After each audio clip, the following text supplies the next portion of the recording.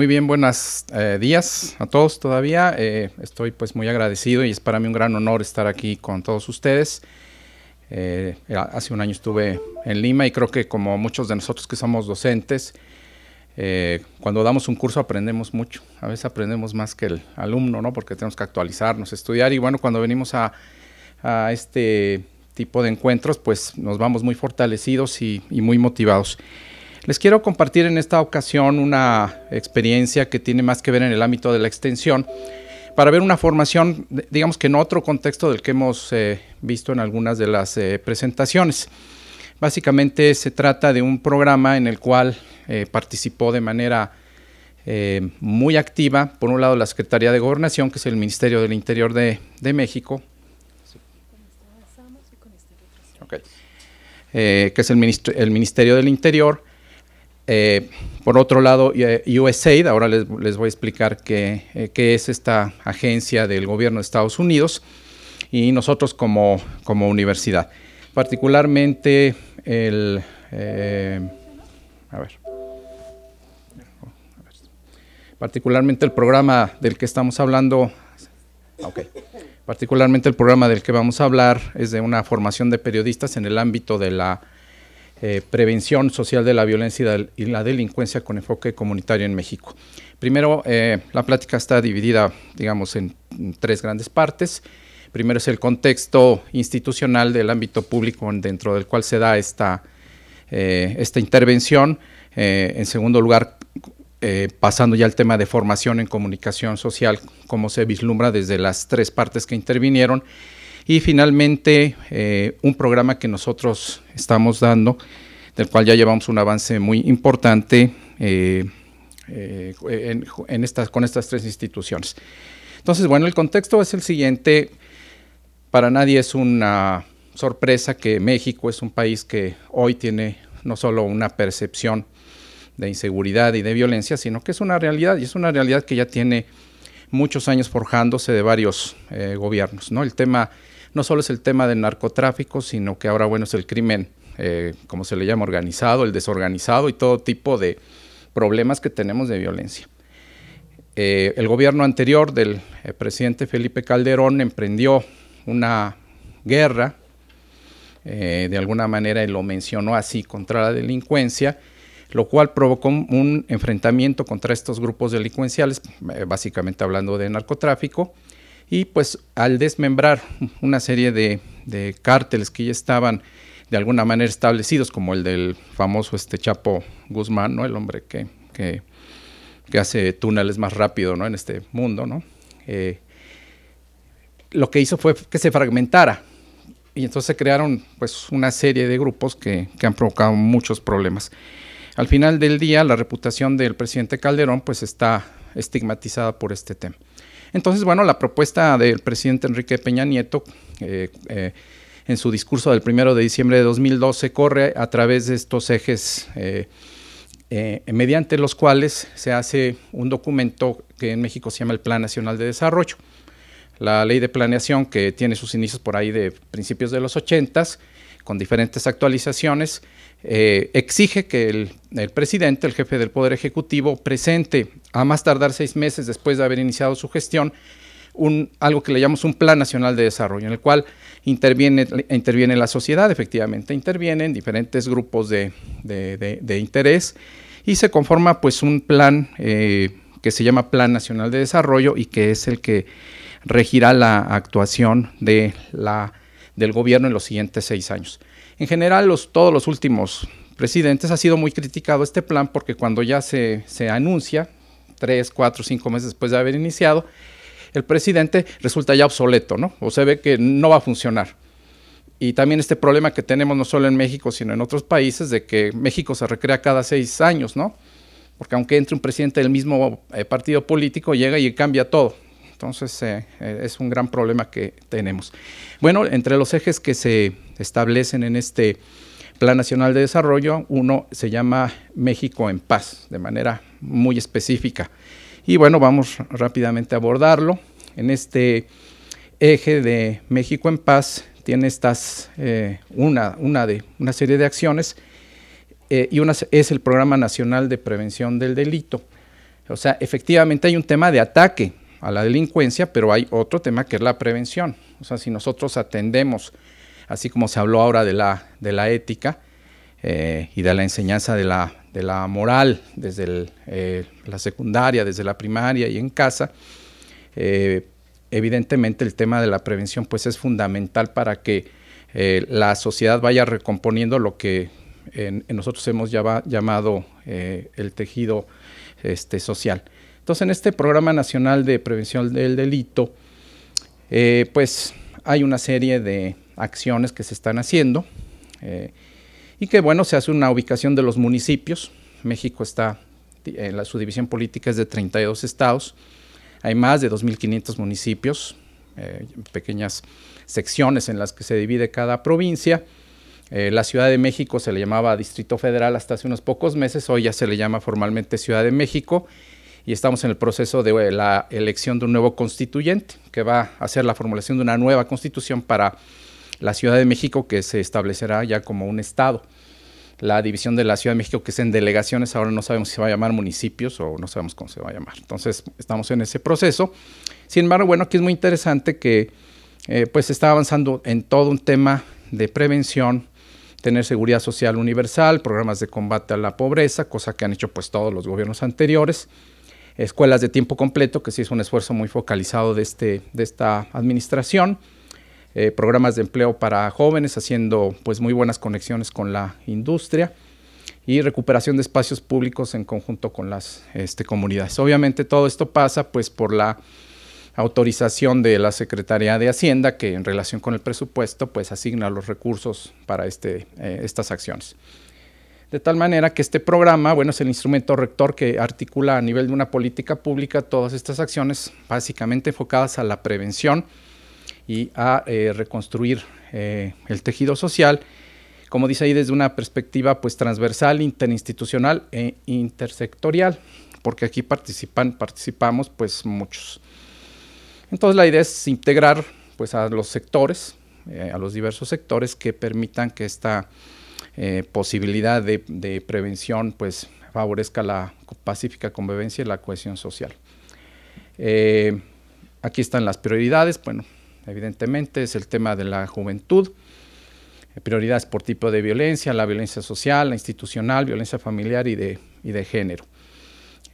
hace poco participamos en un proyecto muy interesante de, mujeres que tenían problemas de violencia en el, en el Estado de México y se conformó un equipo de trabajo en el cual participó por, para darles un, no está en el ámbito de este proyecto que les voy a mostrar, pero para darles un ejemplo, eh, mujeres que eran golpeadas, que tenían sujetas bajo un esquema de violencia, se hizo una intervención y este proyecto se formalizó y se le presentó a la Embajada de Japón en México y se pudo hacer un proyecto de desarrollo muy bonito en el cual se hizo una escuela para favorecer eh, que aprendieran una serie de oficios y, de, y, que hicieran como microempresas y, la acción ha sido muy interesante porque la Embajada de Japón pues prestó a fondo perdido, se hizo la escuela, supervisan lo que se hace ahí y hay una gran calidad en lo que está haciendo eh, Japón como país. ¿no? Entonces, bueno, la idea es que haya participación de muchas entidades, tanto en regiones como participación ciudadana y temas de este, pues de los factores de riesgo que están eh, involucrados. Como les decía hace unos minutos, hay 2.500 municipios, 2.457 eh, municipios en, el, eh, en México.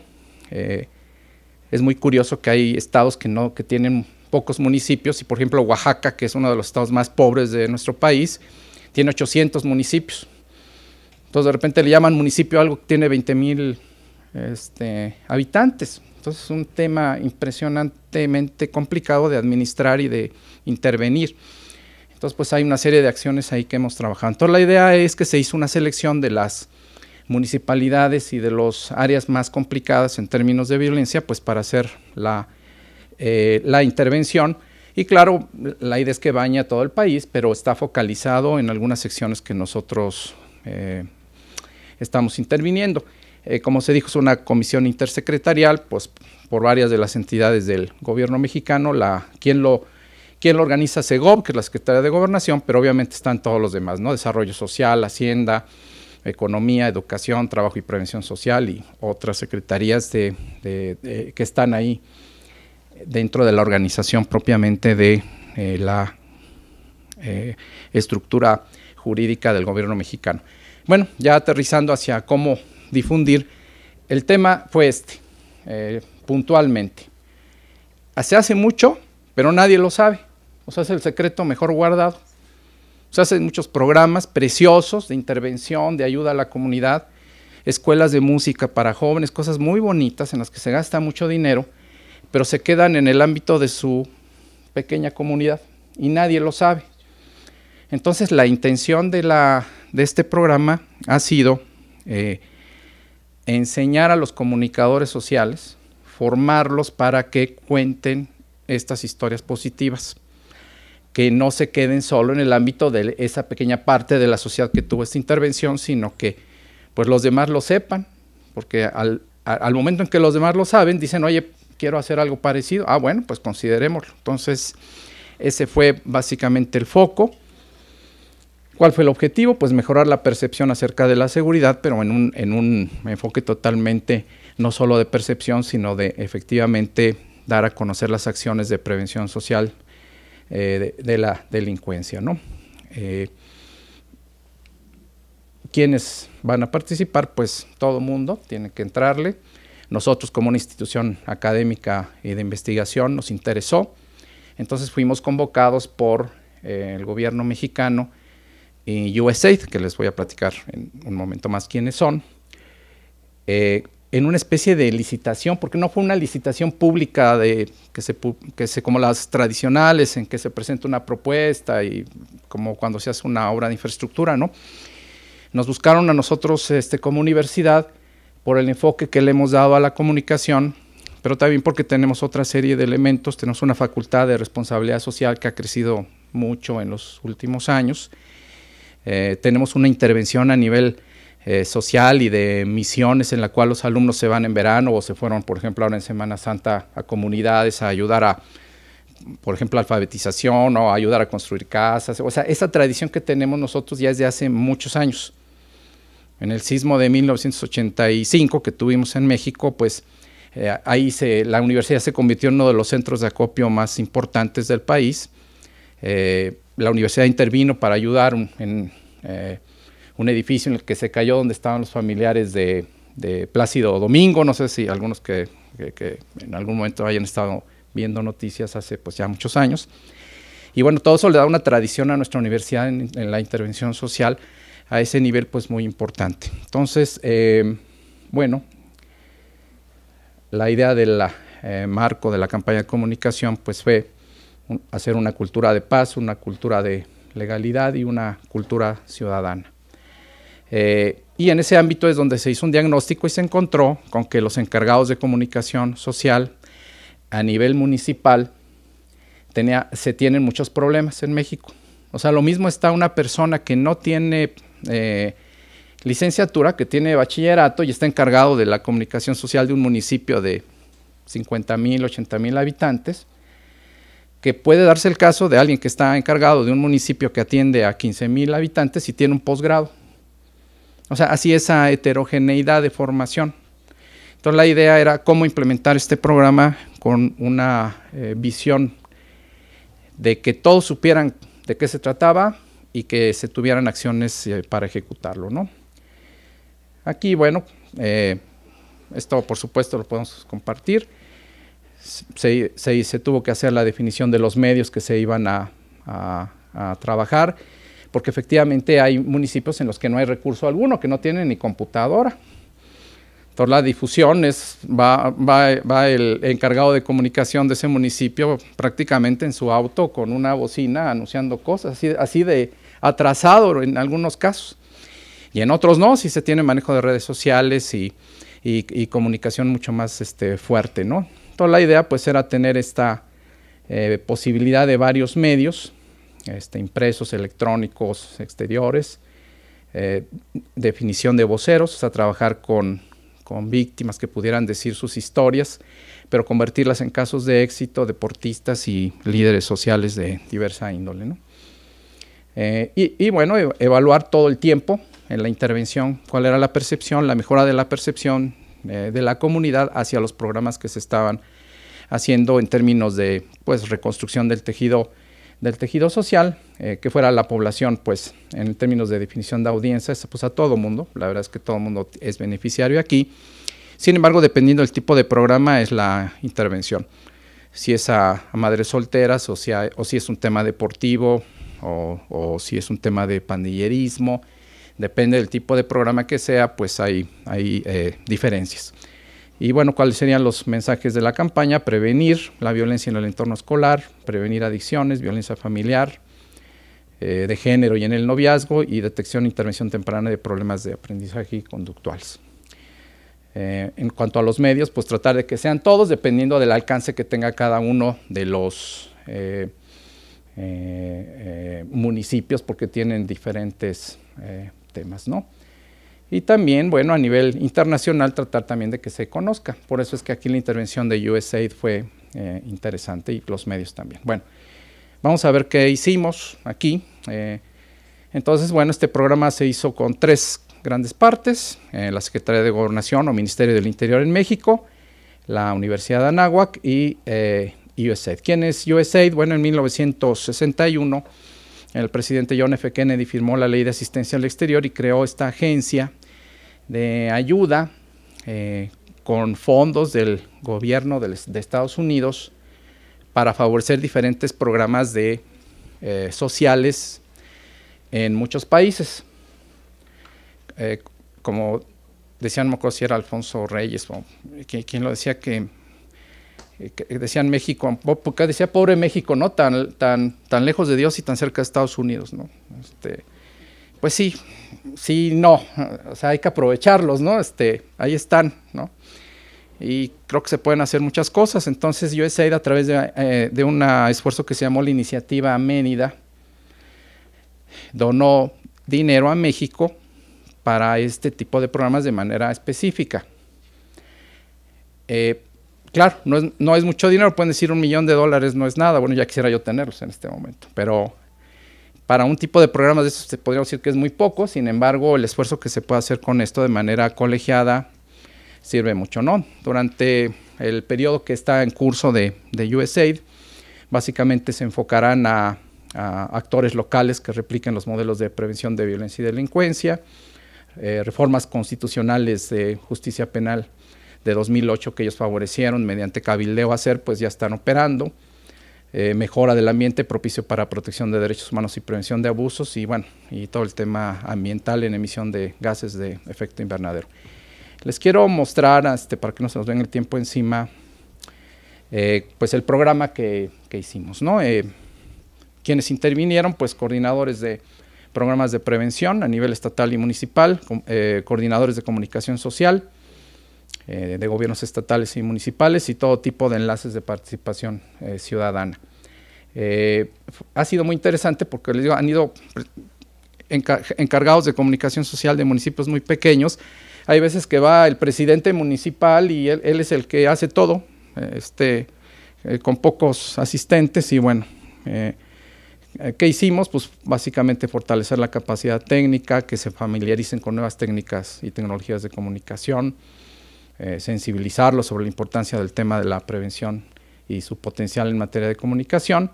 Y bueno, el diseño metodológico de, este programa de extensión, eh, ahora que lo vean, aquí está, eh, por módulos.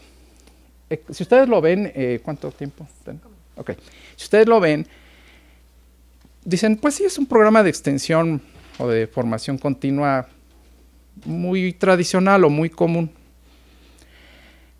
Eh, aquí el punto, como experiencia que yo les puedo transmitir, que hicimos en nuestra facultad, es que difícil es ponerse de acuerdo con la Secretaría de Gobernación, con USAID y con los municipios. O sea, movilizar a la, gente de todo el país a que viniera a la Ciudad de México, bueno, fue un asunto verdaderamente complicado en términos logísticos. Sin embargo, el resultado fue muy positivo en términos de hacer un uniforme, la formación y la información. Porque la idea es que todas estas personas se conviertan en periodistas sociales de su comunidad. y que transmitan los valores de este programa eh, a todos los niveles que les compete a cada uno de manera muy positiva. Entonces, por ejemplo, bueno, primero se les hizo toda una introducción de conceptos de prevención social, de delincuencia eh, y violencia. También cabe mencionar que los profesores de este programa fuimos de las tres partes, o sea, fue gente del gobierno, del Ministerio del Interior, fue eh, profesores de la universidad, a mí me tocó participar en este curso como profesor también, y gente de USAID. Entonces también coordinarnos y que no empalmáramos contenidos y los tiempos y los egos, ¿no? Sobre todo del Ministerio del Interior, bueno, pues todo eso hay que conciliarlo, ¿no? Entonces, bueno, el módulo 1 fue este, introducción a los principales conceptos de prevención social, se les, eh, enseñó acerca de comunicación para el desarrollo y comunicación comunitaria.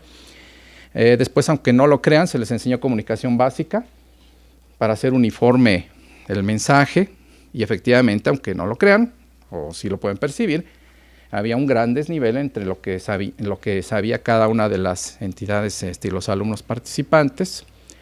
Eh, el módulo 3 ya fue comunicación digital, ya se les enseñó a trabajar eh, a algunos de manera incipiente, a otros que ya tenían más avance, pues eh, tema de tema de redes sociales, nuevos medios, herramientas de mercadotecnia digital aplicadas a comunicación comunitaria y comunicación para el desarrollo.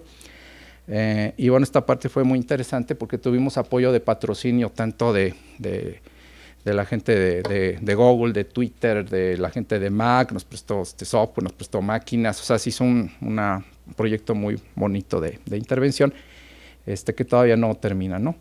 Y finalmente se les dio todo el enfoque de comunicación comunitaria, de qué se trata, los principales beneficiarios y cómo debe trabajarse este tema, ¿no? Y bueno, ah, finalmente el reporte de historias de prevención, o sea, que ellos se vuelvan unos buenos storytellers, que digan las cosas positivas que se están haciendo, que sí se están haciendo. O sea, créanme que sí, en México estamos sufriendo mucho este tema, pero también se están haciendo cosas. O sea, podemos criticar mucho al señor Enrique Peña Nieto, ¿no? Que platicaba con algunos de ustedes que siendo candidato en la Feria del Libro de Guadalajara le preguntaban, oiga, díganos los tres libros que está leyendo. Y se trabó, no, no, no, no pudo decir ni Memín Pingüín, ni Archie, no pudo decir nada, ¿no? Entonces, bueno, desde ahí tiene el estigma de que es, de que no sabe nada. Y después de estos tres años, aseguro que es un tipo muy inculto. Eso es un hecho. O sea, ni siquiera le pasaron una tarjetita diciendo, oye, di, ¿no? Platero y yo, lo que sea, ¿no? Pero di algo, ¿no? Este, pero entonces sí, nosotros, eh, eh, o sea, sí se están haciendo cosas a pesar de este entorno. A pesar de lo que ustedes escuchan de la percepción de violencia que hay en México, se están haciendo cosas muy interesantes que pues tenemos que apoyar y fortalecer, ¿no? Este, y creo que se ha tenido una gran actividad ahí. Eh, esta fue la primera parte que se hizo en enero del año pasado. Ahorita vamos ya con otra sección. La idea es que de los 2.457 municipios que hay en México podamos cubrir al menos la mitad. Entonces es una gran tarea titánica. Estamos viendo si nos movemos también a otras zonas de la, del país para, para poderlo hacer, porque ahora se ha hecho presencial en, en nuestra universidad. ¿no? Y bueno, aquí algunos eh, eh, temas de la, perdón, está hasta algunas fotos de, la, de esta actividad eh, que ha sido pues muy, muy bonita y muy interesante y que pues se, la transmito, se las transmito y que en caso que ustedes vayan a emprender algún tema de, de este tipo de formación, pues pasamos de la, de la parte conceptual y de la teoría de que todos nosotros manejamos todos los días a la práctica con tres entidades gubernamentales y, y bueno, como último comentario, el cierre para ellos también es muy importante, les tenemos que reportar hasta el último centavo, hasta la última servilleta que se utilizó con un detalle verdaderamente de auditoría. Entonces, este, no basta solo que nuestra parte docente y de contenido esté bien hecha, sino que pues hacer todo el, el cierre económico pues tiene que ser muy positivo, ¿no? Entonces, bueno, esta es la presentación que les traigo y bueno, si tienen alguna duda, alguna reflexión, pues muchas gracias. Gracias. Doctor Cienfuegos, gracias, muy gentil. Bueno, eh, recordemos las preguntas muy claras, precisas, concisas. Eh, tenemos cinco minutos de preguntas a partir de esta sesión. Carlos, gracias por tu presentación. Muy concreto, cuando hablaste en el punto de las estrategias de difusión que este programa eh, nadie lo conocía. ¿Cuál es la, recepción por parte de los medios de comunicación? Porque muchas veces existe este, esta suerte como de prejuicio de que los periodistas cubren solamente noticias negativas y no hay espacio para las noticias positivas. ¿Cuál, es la, percepción de los medios para dar espacio en su pauta a este tipo de noticias? Sí, eh, efectivamente es muy complicado. En la televisión comercial, o sea, en el canal de las estrellas, olvídense, ¿no?